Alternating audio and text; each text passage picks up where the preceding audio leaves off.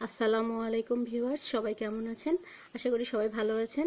আজকের পর্বে আমরা শিখব গড়, সমষ্টি, পদসংখ্যা এসব নির্ণয় করা শিখব। তাহলে শুরু করি। প্রথম অঙ্কটি দেখুন। এক থেকে একশো পর্যন্ত সংখ্যাগুলির গড় কত? তাহলে গড়ের একটি সূত্র আছে। গড়ের সূত্র হচ্ছে গড় সমান সমান শেষ পদ শেষ পদ যোগ প্রথম পদ ভাগ দুই। তাহলে এখানে শেষ পদ কত? এক থেকে একশো। এক থেকে একশোর মধ্যে শেষ পদ একশো। যোগ প্রথম পদ কত? এক। ভাগ দুই। তাহলে একশো এক ভাগ দুই সমান সমান কত হচ্ছে?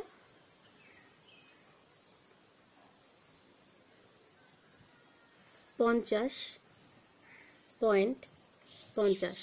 তাহলে আমাদের অ্যান্সার কত হবে? ক নাম্বার, পঞ্চাশ পয়েন্ট পঞ্চাশ। খুব সহজে কিন্তু আমরা নির্ণয় করতে পারব। আর এসব খুব সহজ ছোট ছোট অঙ্ক কিন্তু ভুলে যাওয়ার সম্ভাবনা থাকে, এজন্য আপনারা বারবার চর্চা করবেন।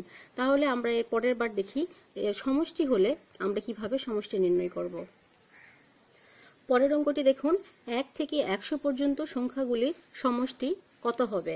তাহলে সমষ্টির একটি সূত্র আছে, সেটা হচ্ছে সমষ্টি সমষ্টি সমান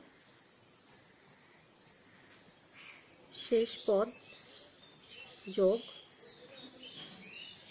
প্রথম পদ ভাগ দুই, এখানে গুণ পদ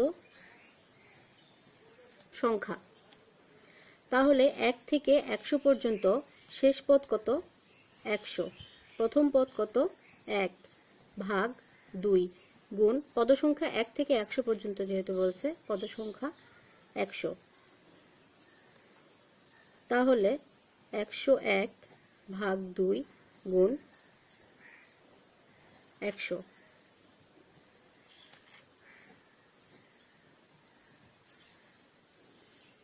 পঞ্চাশ আর একশো এক গুণ করলে হবে পাঁচ হাজার পঞ্চাশ। তাহলে আমাদের অ্যান্সার কত? খ। পাঁচ হাজার পঞ্চাশ। এবার আমরা শিখব পদসংখ্যা নির্ণয়। পদসংখ্যা নির্ণয় এক থেকে একশো পর্যন্ত সংখ্যাগুলির। তাহলে এক থেকে একশো পর্যন্ত সংখ্যাগুলির পদসংখ্যা যদি নির্ণয়, এখানে আমি সহজ সহজ সংখ্যা দিয়ে করছি। যদি অন্য রকমও সংখ্যা থাকে, জাস্ট সংখ্যাগুলো চেঞ্জ করে একই সূত্রে কিন্তু বসালে অঙ্কগুলো হয়ে যাবে। তাহলে পদসংখ্যার সূত্র আমি লিখে নেই। পদসংখ্যা সমান শেষ পদ শেষ পদ বিয়োগ প্রথম পদ ভাগ প্রতি পদের বৃদ্ধি যোগ এক। এখানে শেষ পদ কত? এক থেকে একশো, শেষ পদ একশো। প্রথম পদ কত? এক। প্রতি পদের বৃদ্ধি এক, দুই, তিন, এভাবে যদি আমরা দেখি, তাহলে প্রতি পদের বৃদ্ধি কিন্তু এখানে এক। দ্বিতীয় পদ থেকে প্রথম পদ কিন্তু বিয়োগ করলে আমরা প্রতি পদের বৃদ্ধিটা পেয়ে যাব। যোগ এক সমান নিরানব্বই যোগ এক সমান একশো। তাহলে এখানে পদসংখ্যা কত? একশো। অ্যান্সার ক। খুব সহজে কিন্তু এক একটা সূত্র কিন্তু প্রয়োগ করে আমরা কিন্তু এই অঙ্কগুলোর মান নির্ণয় করতে পারব। গড়ের আরেকটি অঙ্ক দেখুন, এক থেকে একশো পর্যন্ত জোড় সংখ্যাগুলির গড় কত হবে? তাহলে এখানে গড়ের সূত্র কি? গড় সমান শেষ পদ যোগ প্রথম পদ ভাগ দুই। যেহেতু এখানে বলছে জোর সংখ্যাগুলির গড় কত, তাহলে শেষ জোড় পদ যেটা, সেটা আমরা লিখে নেব। শেষ জোড় পদ এখানে একশো। যোগ, প্রথম জোড় পদ কোনটা হবে? এক কিন্তু বেজোড় পদ। একের পর আছে কি? দুই। দুই একটা জোড় পদ, প্রথম ওটা তাহলে ভাগ দুই। তাহলে হচ্ছে কত? একশো দুই ভাগ দুই সমান একান্ন। আমাদের অ্যান্সার কোনটা? খ।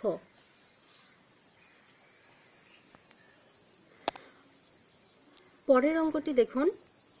পরের অঙ্কটি এক থেকে একশো পর্যন্ত বেজোড় সংখ্যাগুলোর গড় কত হবে? তাহলে গড়ের সূত্র গড় সমান শেষ পদ যোগ প্রথম পদ ভাগ দুই। যেহেতু এখানে বলছে বেজোর সংখ্যা, বেজোড় তাহলে শেষ বেজোড় পদ কত এখানে? নিরানব্বই। যোগ, প্রথম বেজোড় পদ কত? এক ভাগ দুই সমান সমান একশো ভাগ দুই সমান পঞ্চাশ। তাহলে আমাদের অ্যান্সার কত হবে? ক, পঞ্চাশ। আরেকটি অঙ্ক আমরা দেখে নেই। এক থেকে একশো পর্যন্ত যে সংখ্যাগুলোর পাশে তিন আছে, তাদের গড় কত হবে? তাহলে গড়ের সূত্রটা প্রথমে লিখে নেই। গড় সমান শেষ পদ যোগ প্রথম পদ ভাগ দুই। তাহলে এক থেকে একশোর মধ্যে শেষ পদ কোন সংখ্যাটি? তিন বিশিষ্ট। তাহলে শেষ তিন বিশিষ্ট সংখ্যা হচ্ছে তিরানব্বই। আর প্রথম তিন বিশিষ্ট সংখ্যা কত? তেরো। দেওয়া আছে এক থেকে একশো পর্যন্ত যে সংখ্যাগুলোর পাশে তিন আছে। দেখুন, নয়ের পাশে তিন আছে, এটি শেষ পদ। আর একের পাশে তিন আছে, এটা প্রথম পদ। ভাগ দুই সমান একশো ছয় ভাগ দুই সমান তিপ্পান্ন। তাহলে আমাদের অ্যান্সার কত হবে? তিপ্পান্ন। এভাবে কিন্তু আমরা খুব সহজে গড় সমষ্টি পদসংখ্যা নির্ণয় করতে পারব। আশা করছি আপনাদের আর কখনো গড় পদসংখ্যার সমষ্টি এসব ভুল হবে না। আমার ভিডিওটা যদি আপনাদের এতটুকু ভালো লাগে, অবশ্যই শেয়ার করবেন এবং ভিডিওতে যদি কোনো ভুল ত্রুটি হয়ে থাকে কমেন্ট করে সেটা জানাবেন। আজকে এই পর্যন্তই। সবাই ভালো থাকবেন, সুস্থ থাকবেন। আল্লাহ হাফেজ।